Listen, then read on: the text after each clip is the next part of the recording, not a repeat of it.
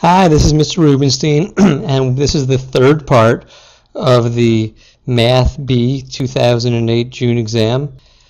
Uh, we're up to question number seven, which says uh, which of these expressions represents the sum of the sequence 3, 5, 7, 9, and 11.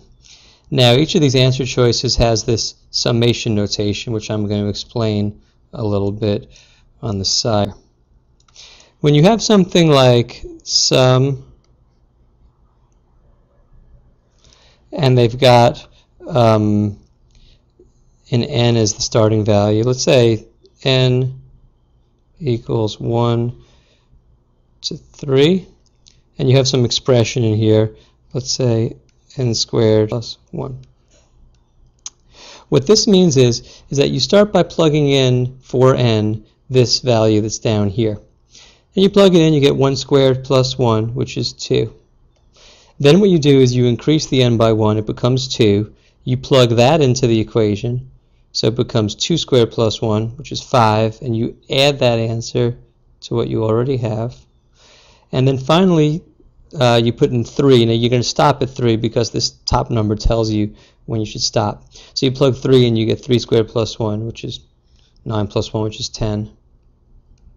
Then you add the three numbers together and you get your answer.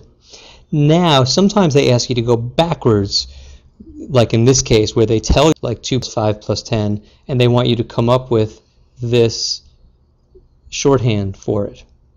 Well, in this question, let's take a look at the different choices. Uh, choice number one says 2n plus 1 as n goes from 0 to 5. So if I were to expand out choice 1, I would first plug 0 in. When you plug 0 in, you get 2 times 0 is 0 plus 1, which is 1. Then you plug 1 in. 2 times 1 plus 1 is 3. And as you can see, that's not becoming 3 plus 5 plus 7 plus 9 plus 11. So we're going to stop doing that choice. 3 times 1 is 3 plus 1, which is 4, which is not 3 again. The only choice left is choice 4. But to show you that that works, um, first you plug 1 in to 2n plus 1, and you get 2 times 1 plus 1, which is 3, like we hoped. Then you plug 2 in, you get 2 times 2 plus 1, which is 5. And then finally you plug 3 in to get 7, and 4 in to get 9, and 5 in to get 11, which is exactly what we wanted. One problem that some people have is they misunderstand this top term here. That's not how many terms there are always. It's just when you stop.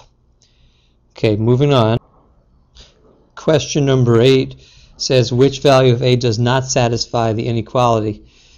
Now for this question, if it was not a multiple choice question, it would be a lot more complicated. But in this case, since it is a multiple choice question, I think we should take advantage of that just by testing all the numbers.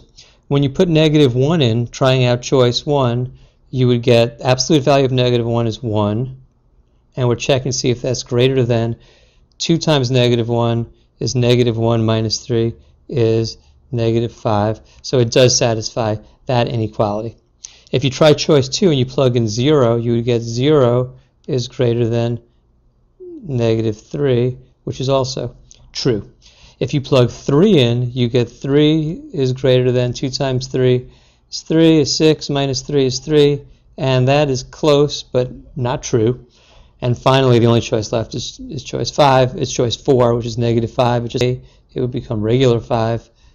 2 times negative 5 is negative 10 negative 10 minus 3 is negative 13, and that's the only one that's not satisfied. So that's your answer. Question 9 says if point 5 comma 2 is rotated counterclockwise 90 degrees about the origin, its image will be point.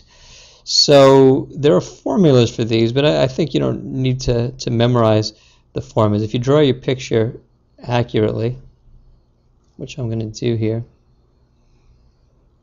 so here's uh, 5 comma 2. I go out 1, 2, 3, 4, 5, right 5, up 2. So here's the point. Uh, first of all, when you rotate this point uh, counterclockwise, counterclockwise is going sort of this way around the origin. So when you rotate 90 degrees counterclockwise, you are going to end up somewhere in, in, in quadrant 2. And, and already from uh, just, just based on that, you could um, probably get, get your answer choice. There's only one point in quadrant 2 of these four things. Uh, choice 3, negative 2, comma 5. But let's imagine that there were other choices that had, for instance, uh, negative 5 comma 2 was also a choice. It might be um, confusing. Um, the thing that, that you realize is when you rotate this thing, it, if you rotated this point 5, 0, you rotated that 90 degrees counterclockwise, it would end up at 0, 5. When you rotate the point 2, uh, 5, 2, that is, it's going to end up over here. Now the coordinates of that point, if you draw it accurately, seem to be negative 2 comma 5. And in general, if your original point is xy and you rotate it clockwise uh, by 90 degrees, you are going to get uh, negative y comma x. Question 10 says, what is the sum of 5 minus 3i and the conjugate of 3 plus 2i? Well, you have to know what the word conjugate means. And the conjugate of a number, a plus bi, the conjugate is going to be a minus bi. And uh, that goes in reverse also. If it was a minus bi, it would become a plus bi.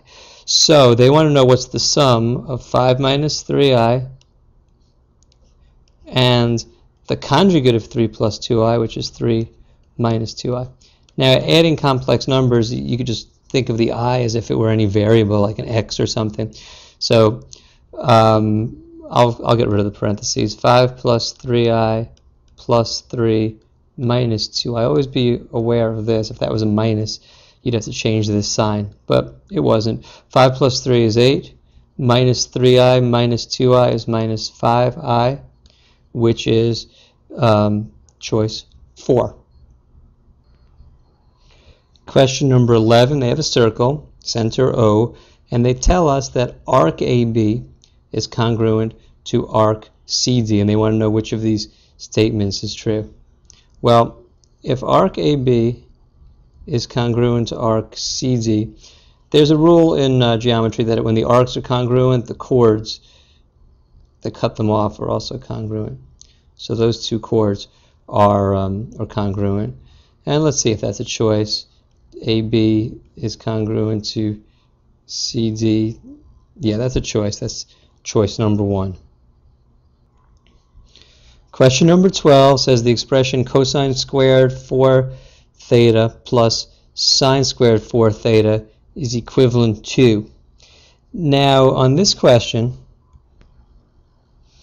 you have to be aware of um, a, a famous trig identity, which is sine squared theta plus cosine squared theta that always equals 1. No matter what angle you pick for theta, that's going to be true.